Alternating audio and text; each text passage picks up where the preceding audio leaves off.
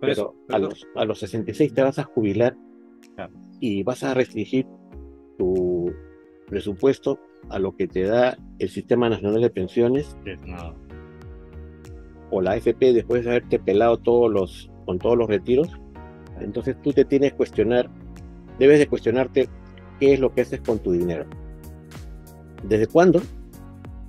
Desde el momento en que tomas conciencia de eso.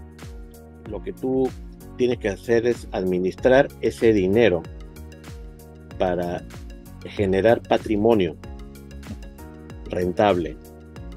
¿quién es millonario? El que tiene un patrimonio de... O sea, yo no me considero un millonario, porque no lo soy. Pues, eh, ¿Por qué? Porque para considerarte millonario tienes que generar millones, no tener millones. 4.5, que es lo que te pagan en dólares en los bancos, lo mejor, es diferente a ganar 8%, no es el doble, no es casi el doble.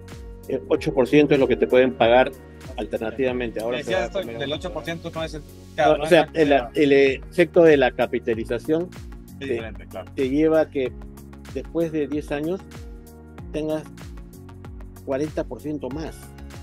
Al final lo que yo vine a descubrir es que, eh, y que tenemos que tener claro todos, es que todos somos una empresa